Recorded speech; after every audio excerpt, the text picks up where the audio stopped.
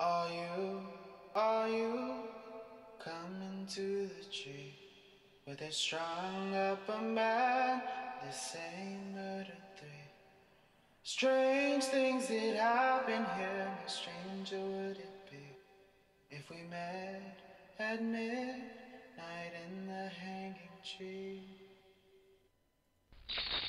Welcome to Strange Things, broadcasting from the Arkanasa Radio Studios in Laredo, Texas.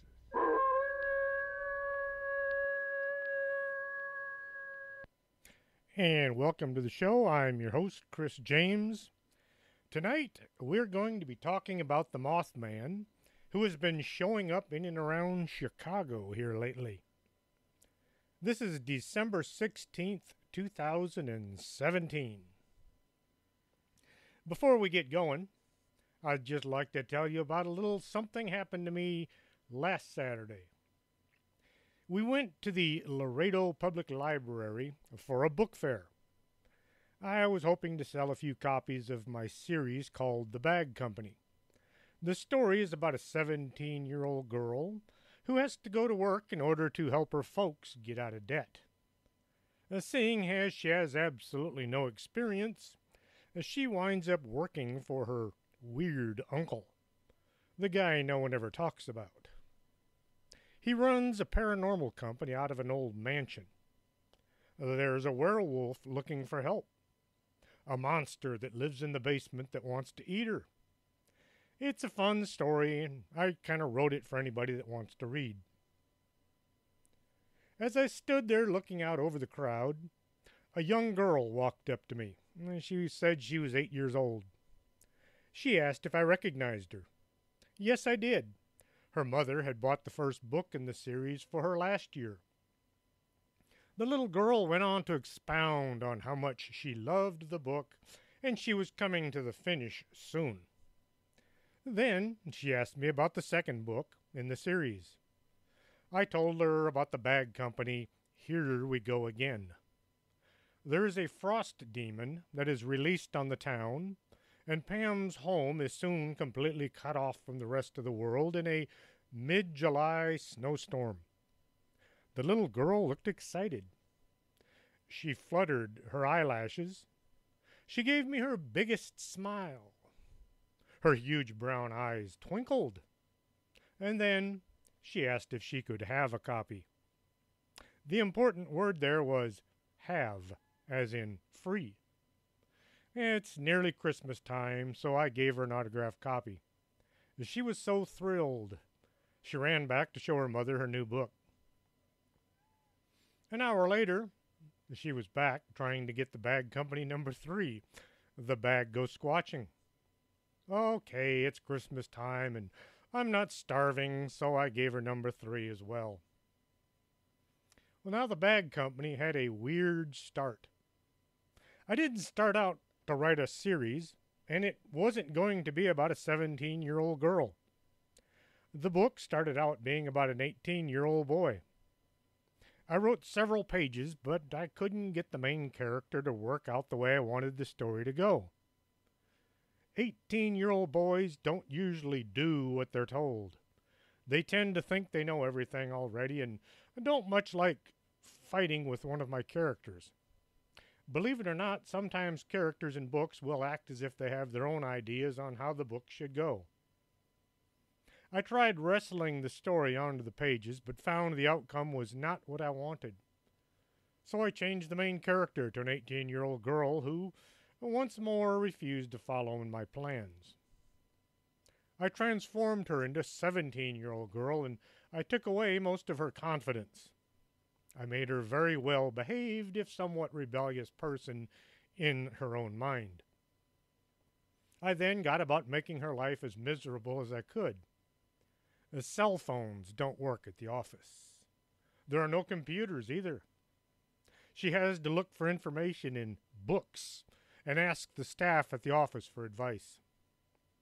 Then Pam discovers she can see and talk to ghosts. When the ghosts find out she can hear them, they flock to her with requests to pass on things to their friends and family. The story worked out as planned, and according to my eight year old fan, it's a very good book. You can get your own copy at the Organic Man Coffee Trike at 4501 McPherson, Suite number 9, or order a copy at Amazon.com. It's just good, clean fun with a twist. Here is the opening few pages to get you in the mood to read the entire story Hopefully, this will entice some of y'all to buy a copy of your own. Have you ever heard the sage advice that went, If you don't understand Latin, don't read it out loud? This is very good advice.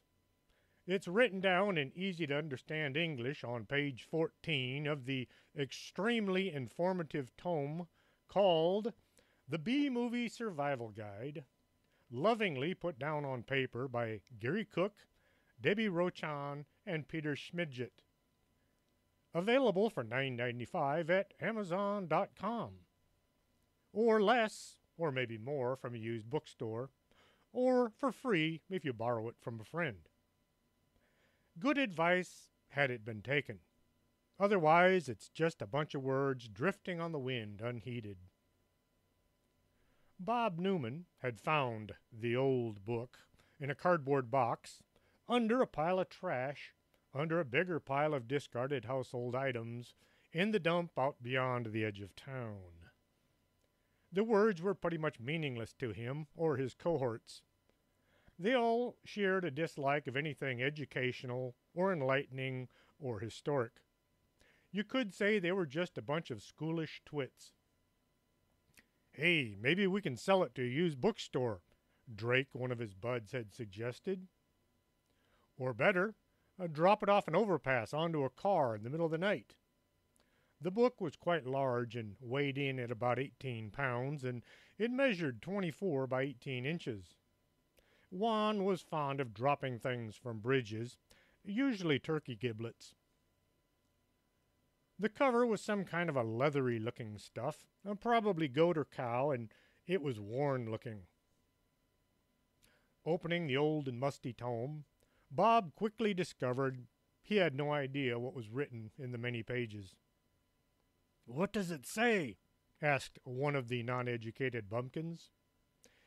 It says Stultus non pelego hoc, whatever that means. If Bob had paid more attention in the Latin class that he had been offered but never taken, he would have known that it said, Idiot, don't read this book. So, what should we do? Sell it or drop it on a car? I say, let's read some more. It sounds cool. Uh, Bob thought big words sounded cool in any language. Flipping over to the next page, he was thrilled to see an illustration. Oh, look, it's got pictures. He held the book upside down so his fellow intellectually challenged boobs could uh, take in the ancient looking drawing. The illustration showed a group of men. They must have been men. They all had beards. Or maybe they were just hairy women.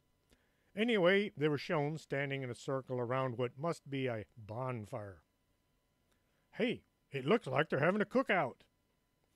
Not a bad idea. It's kind of cold out here. I'm going to start a fire. This would be far beyond the young Cretan's ability, if not for the giant can of lighter fluid he had brought along for just such a purpose. There was plenty of wood since this was a dump. It took him less time to start a raging fire than it would take him to fill out a job application. Hey, you know what would be cool? Let's stand around the fire like those guys in the picture. This sounds like an extraordinarily bad idea, but bad ideas were the only kind Milton had. They positioned themselves in a circle around the now smoking, burning, smelly pile of wood, taking up positions just like in the book's illustration showed. What they lacked in thought process, they made up for in being able to recreate a picture. Bob went on with the reading if that was indeed what he was doing. It had as much to do with reading as a parrot being able to reason out what it was saying. Actually, some parrots hold a far better reasoning ability than the combined IQ of five of the six doofuses in the dump. If these fine, upstanding examples of what not to be had spent the night at the local coffee shop drinking espresso and contemplating the meaning of life instead of guzzling beer and contemplating the meaning of words they didn't understand, their world might have taken on a much rosier hue. You know what this reminds me of? One of those horror movies. You know, where some monster turns up and kills everyone. This not too bright statement came from Waldo, a new member of the Ignoramus Club. He hung around because these were the only guys that would put up with his nonsense. He was what you might call a nerd. Look, there's another picture, only this one looks kind of scary. Indeed, it did. It showed the men standing around the fire had conjured up some unthinkable creature from another dimension. A very nasty one at that. Wow, that looks just like that thing over there. And we're going to take a brief pause here and play a couple commercials, so don't go away. We'll be right back after this. You're listening to Arkanasa Radio.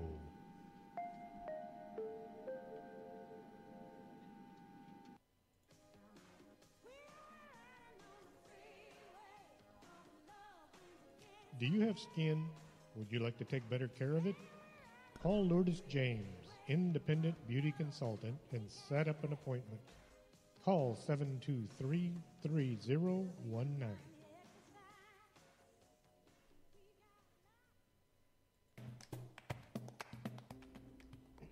Coffee, nectar of the gods.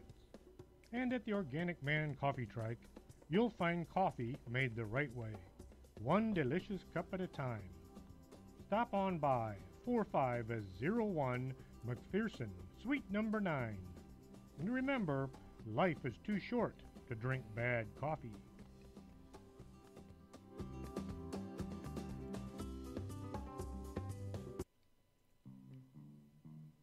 If your vision isn't what it used to be, and you're not sure you're seeing Bigfoot or just your neighbor mowing his lawn, Stop on by Del Norte Optical, 107 Calle del Norte, just across the street from the Embassy Suites. You should be able to see what you're looking at.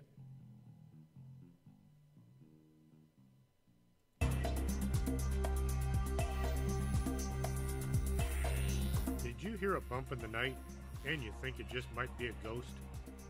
Contact the Laredo Paranormal Research Society at Laredo Paranormal at hotmail.com. That's the LPRS for all your otherworldly needs.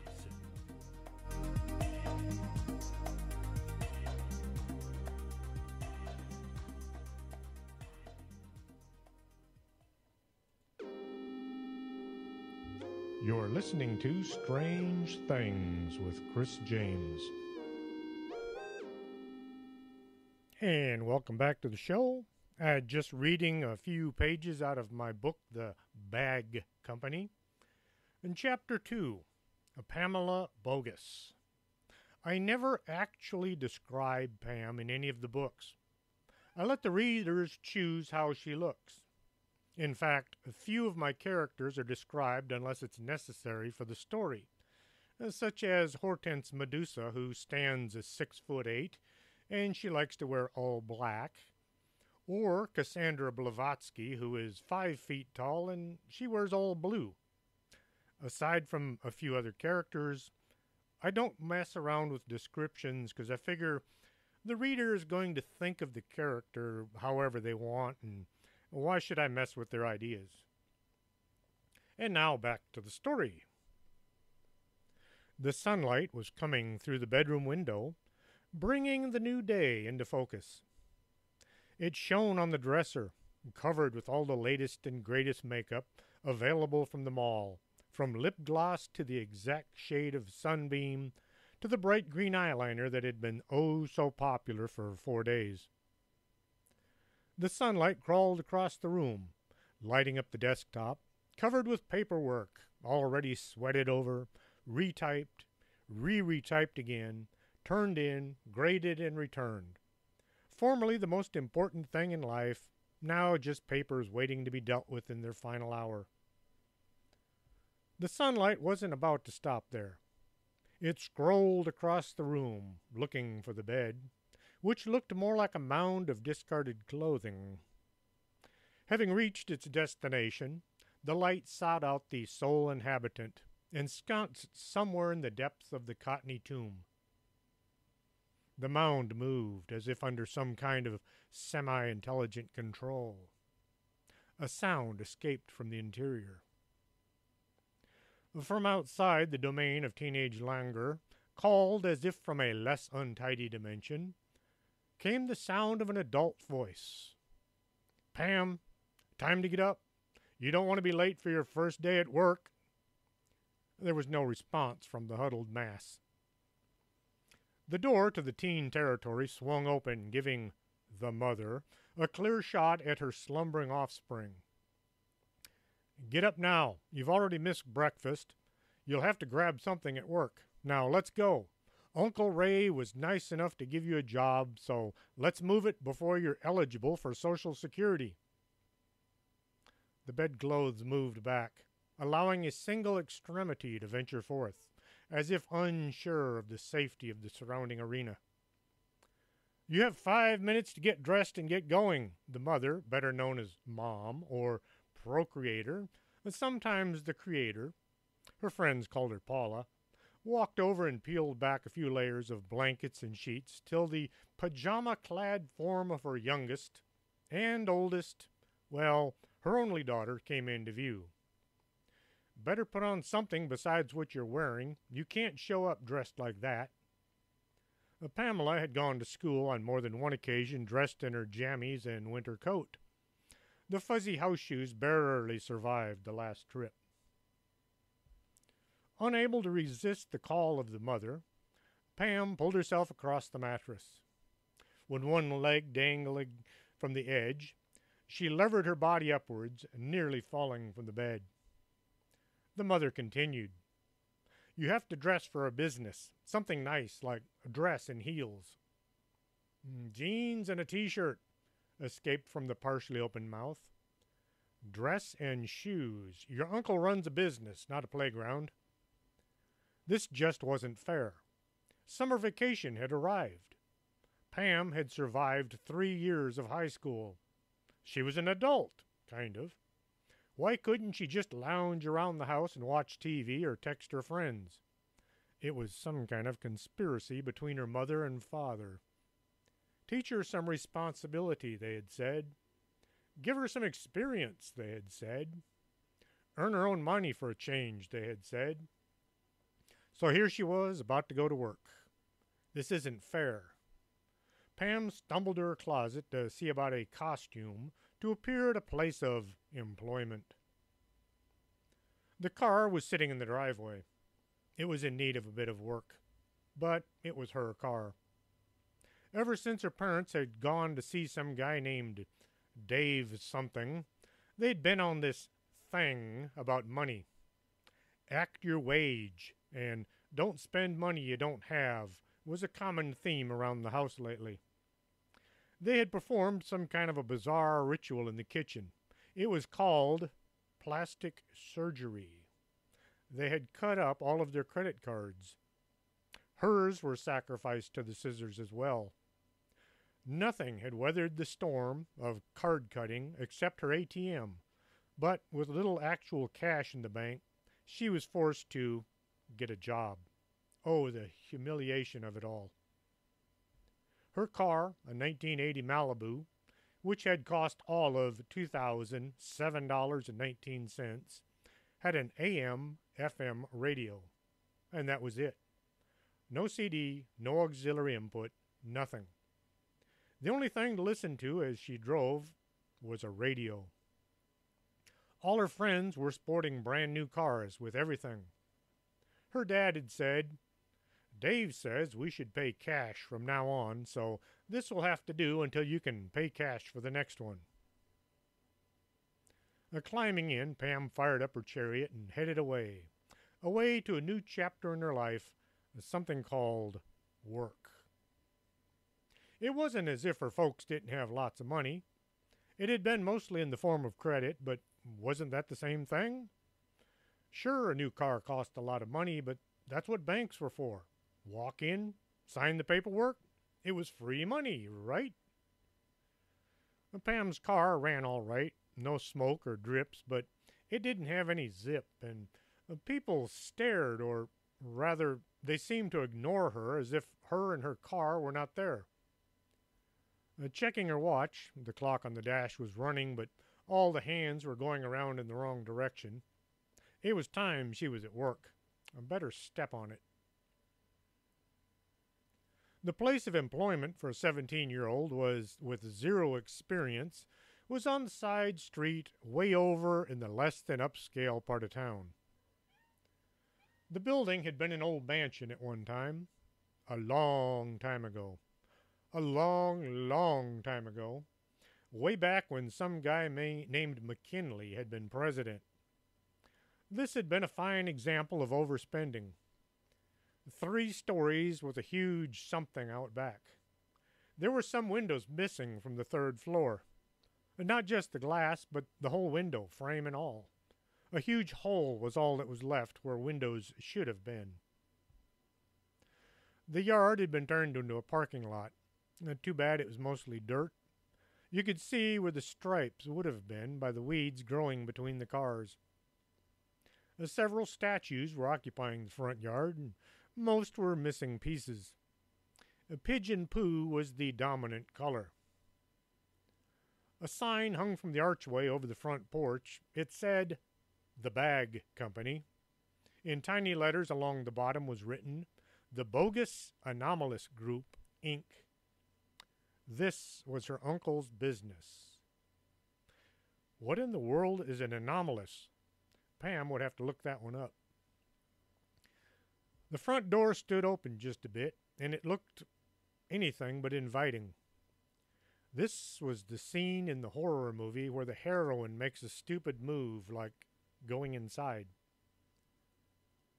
Flipping a mental coin, either step through the door or jump in the car, drive to another state, change her name, and then what? Well, I guess I go in then. Pam walked to the door and stepped inside. She pushed the door shut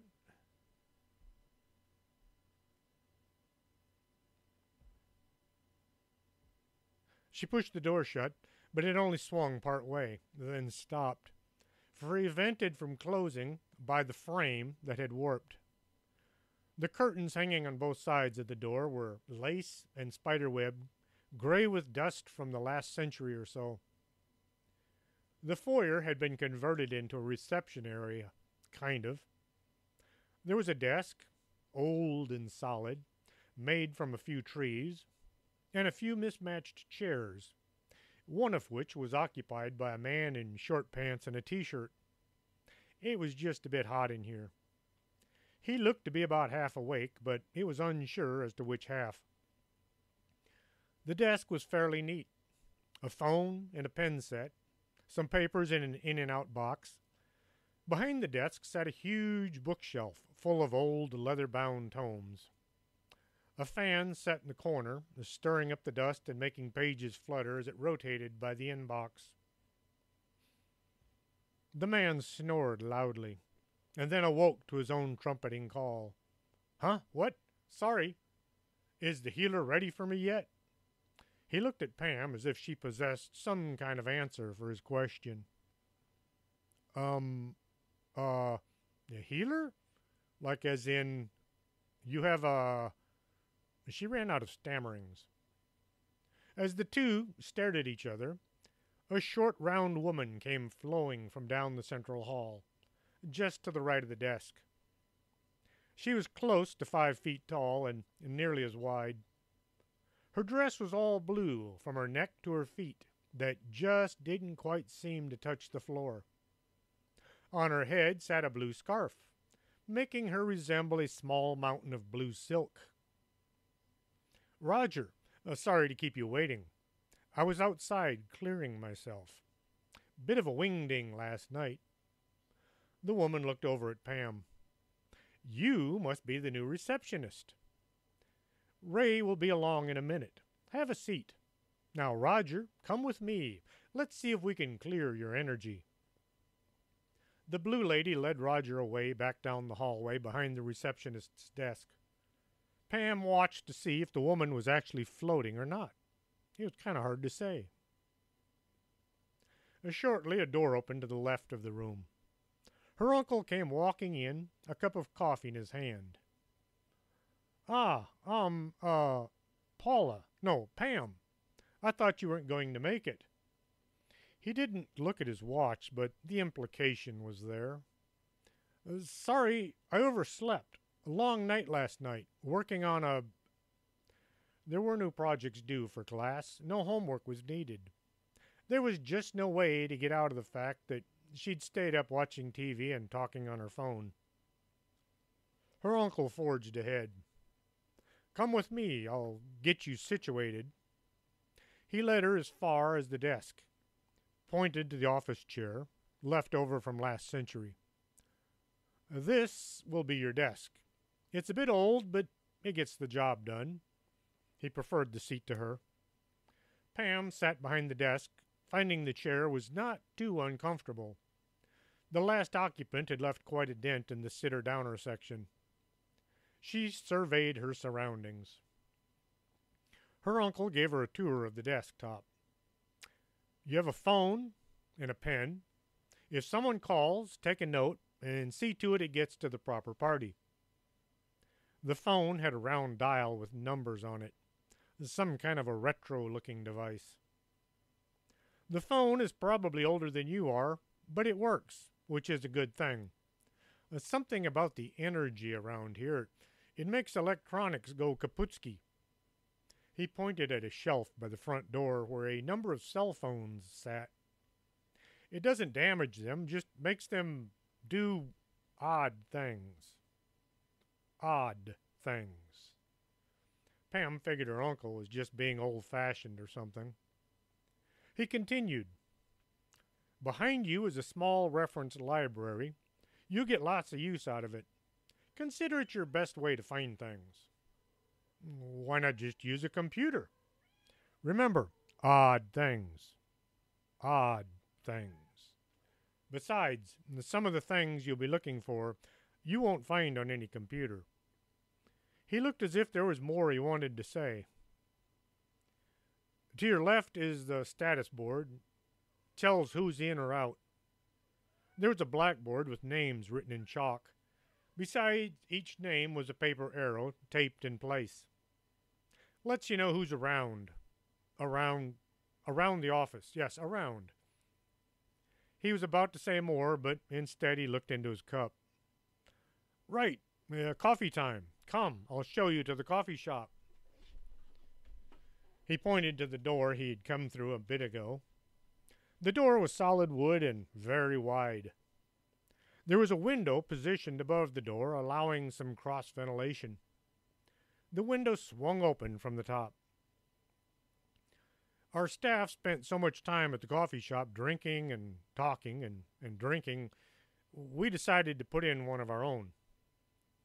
Uh, what exactly is it you and your staff do here? Uh, Pam had been wondering about this for, oh, say, the last ten years. Whenever the subject of her uncle had come up, there had always been a long pause, uh, followed by a change of subject. We fix things. No, no, we, we solve problems. Er, have a cup of joe and I'll, I'll fill you in as best as I can as as best I can. And that is all for now. If you'd like to read more of the BAG Company, it's available in paperback or Kindle. From where else? Amazon.com. And now for The Mothman. December 15th, 1967, the Silver Bridge collapsed. 56 people died in the freezing water. Several of the bodies were never found. The collapse wouldn't have become such an historic anomaly if not for the preceding 13 months. The Mothman had been seen in and around Point Pleasant, West Virginia. Many folks believe this was a form of a warning. Others think the Mothman might have been responsible for the collapse. It all began back in November 15th, 1966, when four young people were out driving through the countryside. At the time, uh, there wasn't much to do on a Tuesday night. Point Pleasant was a small town on the Ohio River. Back during World War II, the government ran a huge munitions facility in the area. The manufacture of explosives was quite deadly, so much of the work was done underground. There were dozens of tunnels and rooms built below the ground level. Once the war had come to an end, the site was shut down, leaving behind a warren of small buildings that looked kind of like igloos. Then, back in 1966, there wasn't much to do if you were young and you lived in a small town. There were maybe three or four channels on the TV, most of the stores closed at sundown since people working in them had families to go to. Once the sun went down, you had to be creative if you wanted some form of entertainment. The two couples had decided to drive through the abandoned munitions facility, which was referred to as the TNT. This was an out of the way location for young folks to get away from town. Lots of trees and winding roads. As the four drove along, one of them spotted what he thought was a man standing on the side of the road. The man looked odd standing there in the dark, so the driver told the others to look at the weird looking guy. As they all looked, they noticed the eyes. The eyes were glowing bright red. Then, as they watched, a set of huge wings unfolded from the man's back. This was no man, but a giant bird of some kind. It leaped into the air and began flying along the road right behind their car. The driver began to go as fast as the narrow, winding road would permit. The birdman swooped down and passed over the car. They could only watch in fear as this giant bird flew back and forth, looking down on them with those glowing red coal fire eyes. As soon as the town drew into view, the giant birdman flew away. They made a beeline for the police station, where they reported their bizarre encounter. The officer taking the report suspected alcohol was involved, but no one smelled from drink. There were no traces of drugs present. The officer had little recourse but to send a patrol unit out to have a look in the TNT area. Shortly after the couple's run in, a man spotted a giant birdman standing in his yard. Once again, the creature was described as having red glowing eyes. It stood about seven feet tall, and it flew away into the night. Now, the Mothman is connected with Point Pleasant, West Virginia, in everyone's mind. The same Mothman, and folks will say Point Pleasant. Well, November 17th, a teenage man saw an eight foot tall creature with glowing red eyes outside of Gallipolis, Ohio. The creature was flying along through the trees. Gallipolis, Ohio is just across the Ohio River from Point Pleasant. A few days later, five pilots were at the Gallipolis Ohio Airport when they spotted what they thought was an airplane. As it grew closer, they could see it was actually a bird. This bird was enormous. The pilots guessed the wingspan to be between 15 and 20 feet across. The giant bird flew over the airfield and looked down at the pilots. It took a few lazy flaps of its wings and sailed out of sight. It turns out that back in the early 1900s, there had been many reports of giant birds flying throughout the Ohio Valley. Maybe these giant bird sightings had been Mothman instead. Many of the sightings said the bird had a 15 foot wingspan. As more sightings were reported to the police in Point Pleasant, Mary Hyre wrote up a newspaper article about the big bird sightings and sent it off to her editor. The editor didn't like the name Big Bird, so he changed it to Mothman. If not for the TV show, the creature might have been called the Batman instead. John Keel, a writer who looked into UFOs and other sightings that were outside the normal news reports, was out researching UFO sightings when he heard about the Mothman sightings in Point Pleasant. He thought there might be a good story to write about, so he drove over to ask the locals about what they'd seen. Now, John Keel was from New York City. The folks in West Virginia don't like talking to strangers, and uh, John was met with polite silence. I've run into this on a few occasions while asking about odd occurrences in a town. If the folks there don't know you, they just assume you're there to ridicule them for being backwards or crazy. Uh, John was finding it near impossible to get any information on the Mothman sightings. He stopped by the police station and there he met Mary Hyre. He began his being a newspaper reporter. Correction, he being a news reporter, and she was a bit more open to his questions. When she discovered he was there to hear the truth and not make fun of anyone, she told him she'd be willing to work with him. Now John was able to talk to the locals, and they were a little more open to him. Having Mary along was making a big difference. Not only were people seeing these giant flying creatures, they were reporting UFO sightings as well. John began to wonder if the Mothman might be connected to the UFOs. As more reports of Mothman and strange lights in the sky came in, the Men in Black, or the MIBs, showed up as well. They began to show up everywhere. Sometimes they were seen just standing around looking somewhat intimidating. Other times they actually tried to get people to stop talking about what they'd seen. Mary Hyre was told by an MIB to stop looking into the Mothman sightings and to not speak to John Keel anymore because he was a fake. Two MIBs even tried to grab Mary's niece as she was walking along a street. Thirteen months after the first sighting, the Silver Bridge, which runs from Gallipoli, Ohio to Point Pleasant, West Virginia, collapsed, killing 46 people. Point Pleasant being a small community, there wasn't a family in town that didn't either lose a family member or a close friend. The sighting of a Mothman type creature continued, and they seemed to always precede some tremendous disaster. In Pripyat, Ukraine, the people had reported seeing some kind of a giant flying creature with bright red eyes.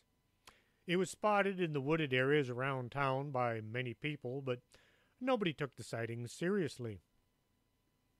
On April 26, 1986, the staff of the nuclear power plant were doing a test on the cooling system. This staff went about shutting down the main, main cooling supply of water.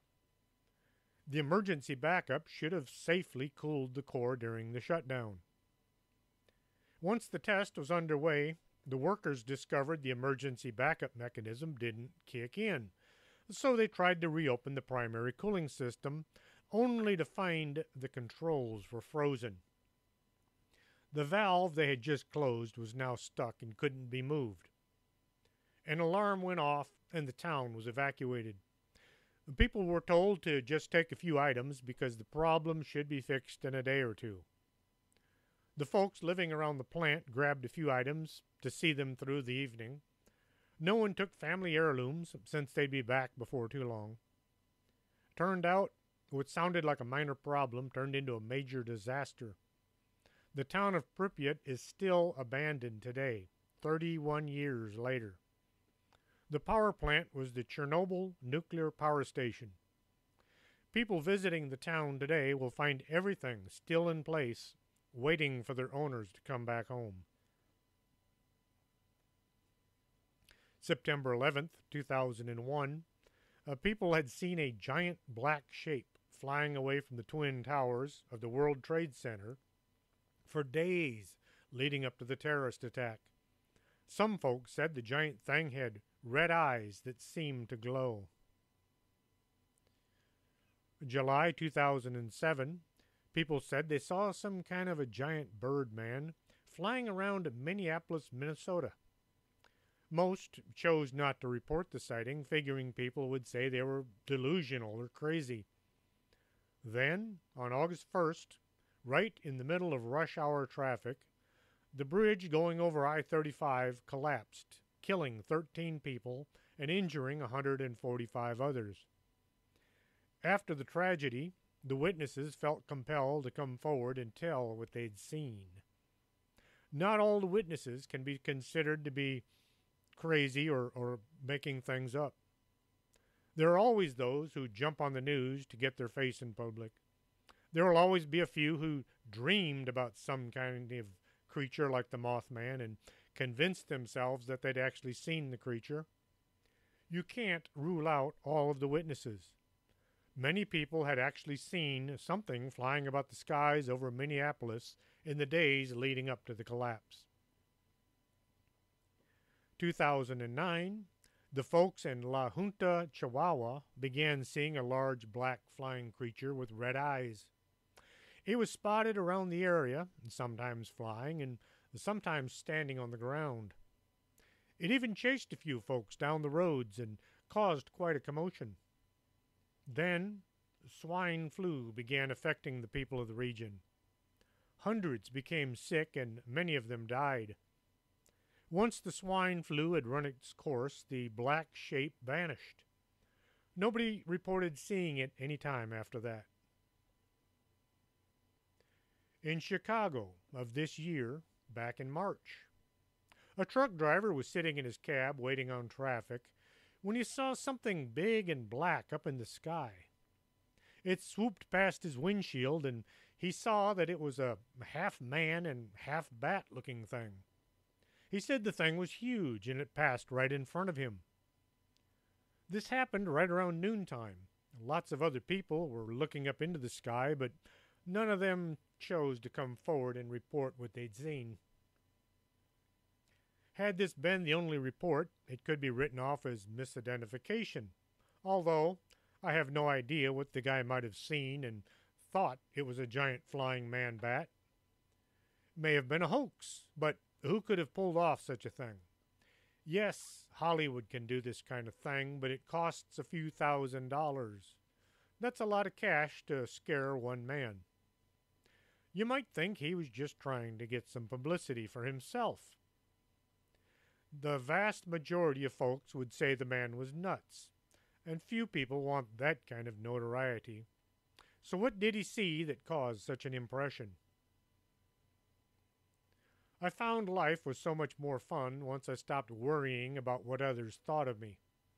I began wearing a hat with UFO Magazine written across the front, just like the one Bill Birnes wears.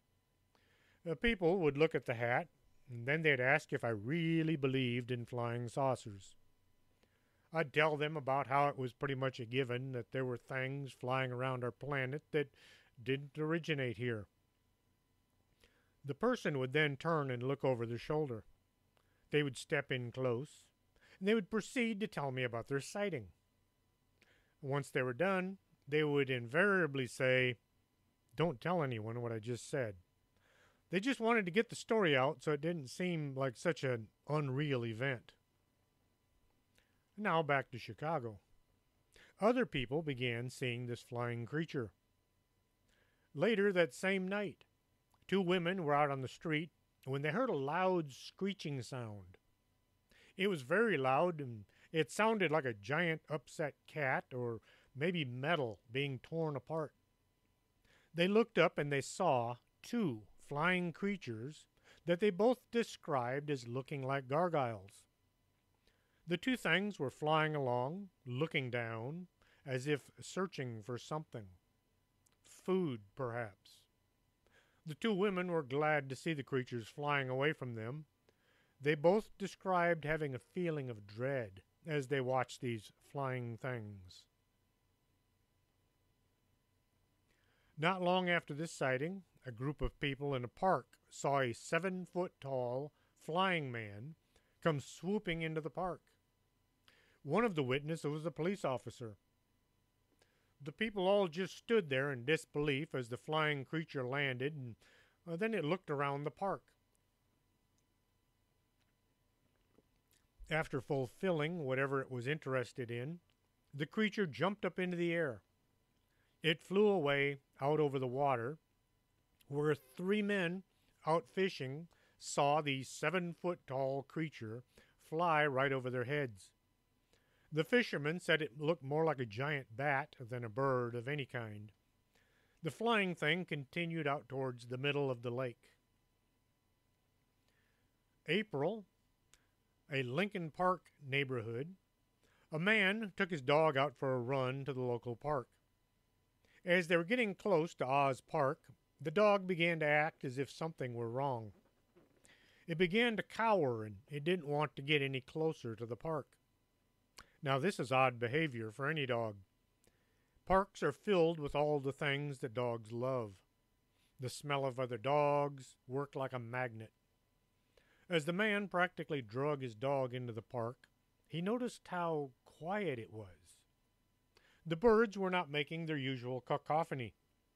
The air was still, making it all that much quieter. An eerie feeling began to creep over him, but the man tried to shake it off as just being nerves. His dog was walking along, but it was huddled right up against his leg. Its tail hung down as if lacking in any joy at being in the park. As the pair rounded the corner and came to the baseball field, there, standing on the ground, was a seven foot tall birdman. The wings looked more like something you'd see on a bat, but the overall look was more of a bird. As soon as the birdman was in sight, the dog tried to hide by using his owner as a shield.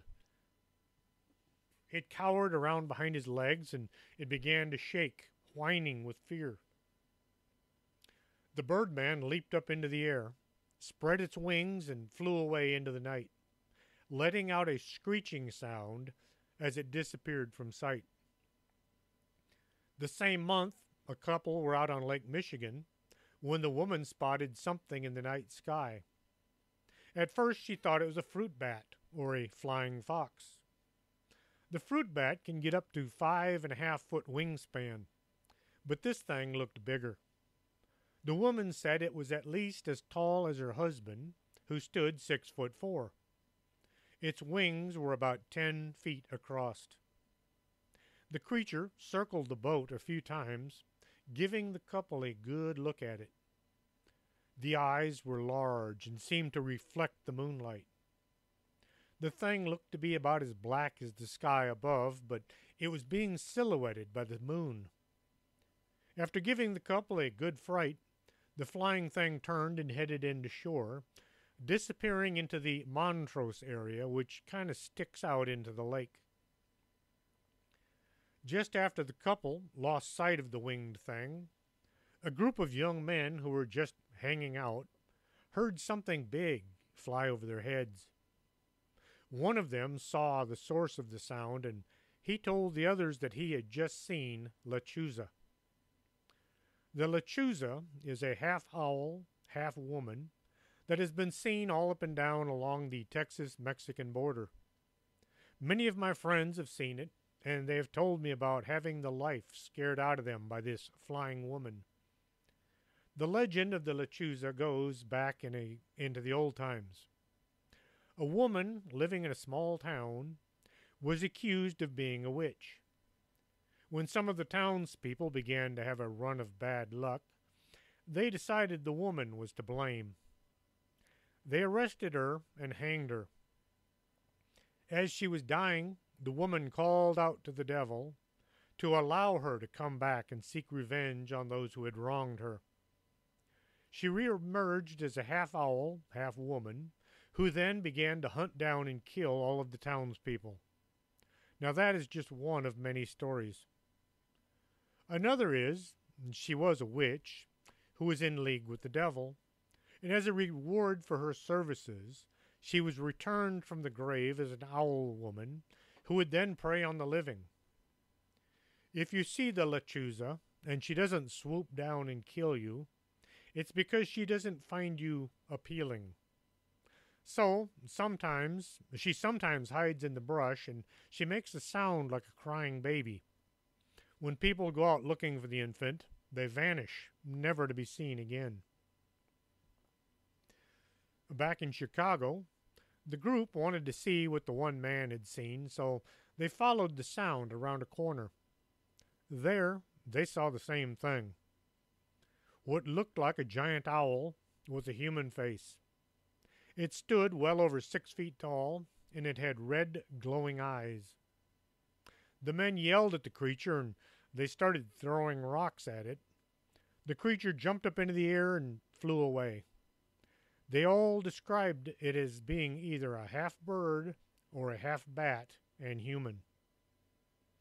I'm going to take a brief pause here and play a couple commercials and drink some coffee, so don't go away. We'll be right back after this.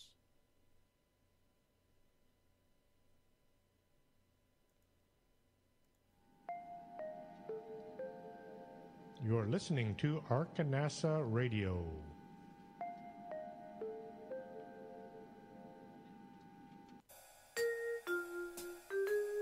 Makeup isn't something you want to just smear on and hope for the best.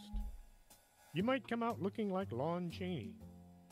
Call Lourdes James, independent beauty consultant, and get a free makeover to see how makeup should be done. 956 723 3019.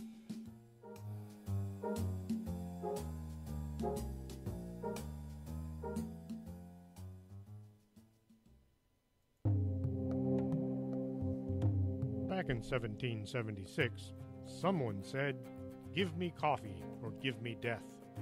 And if that's how you feel, you should be at the Organic Man Coffee Trike. They make coffee the right way, one delicious cup at a time. 4501 McPherson, Suite Number 9. Coffee, the stuff dreams are made of.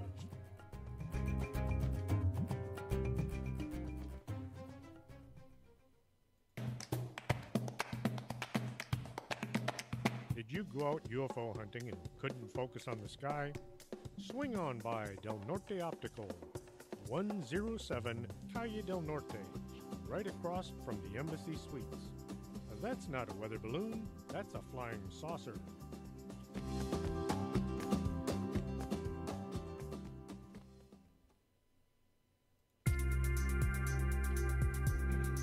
This is Arkanasa Radio you've been listening to.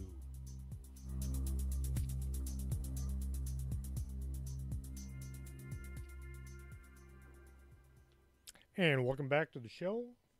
Be sure to check out the majesticalcryptid.net for all your cryptozoological needs. They have many stories from around the country about various things like the Loch Ness Monster and Bigfoot. It's well worth your time and effort to have a look, so go by the majesticalcryptid.net.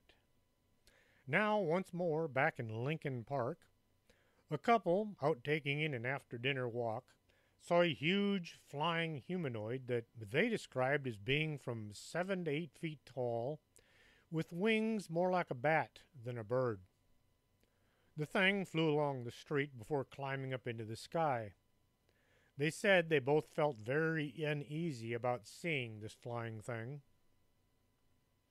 At the international produce market, people saw what they described as the biggest owl in the world.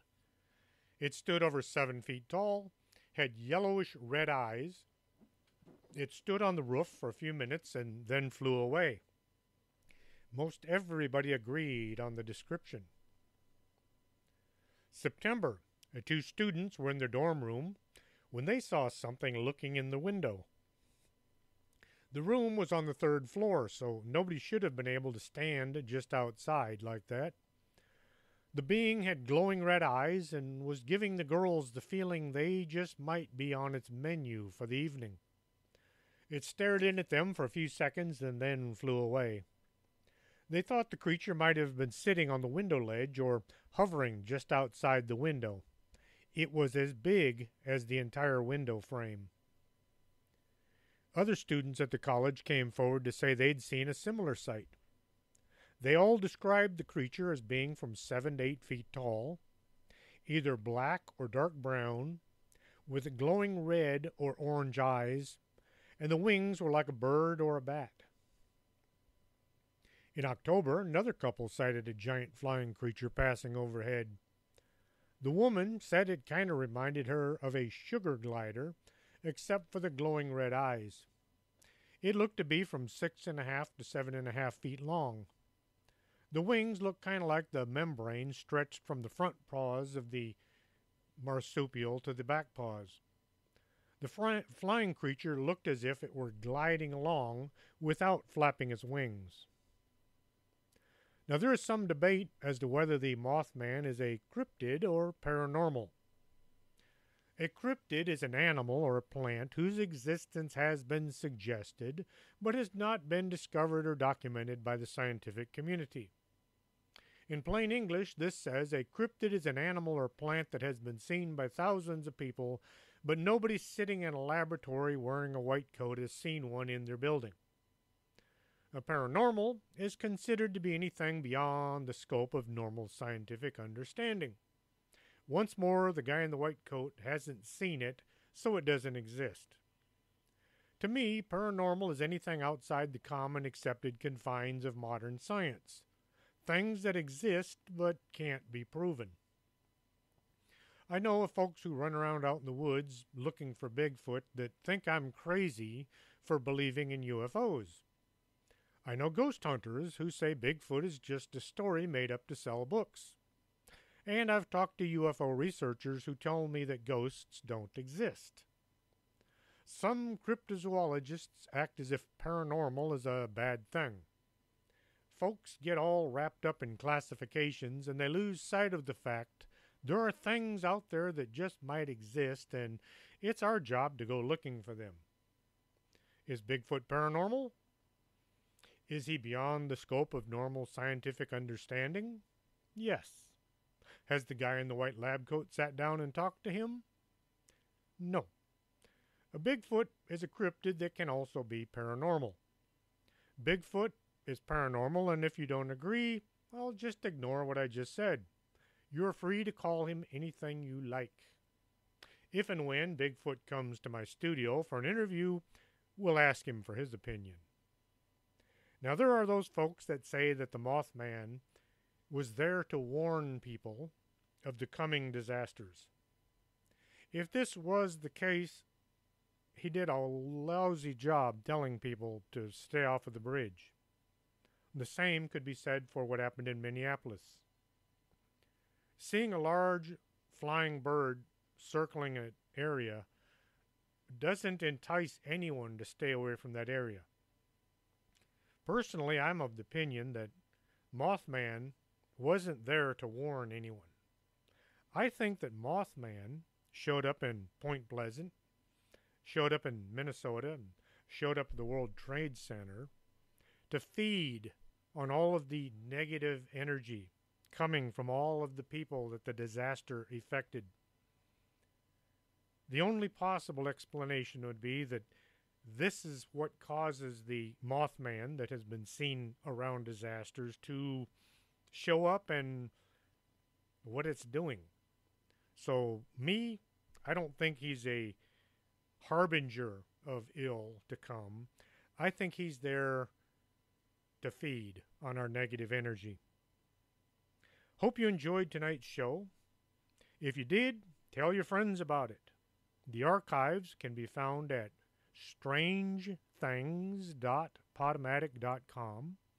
If you'd like to write to the show, perhaps you have a story you'd like to hear on the air, or maybe you have something you'd like to tell me, you can contact us at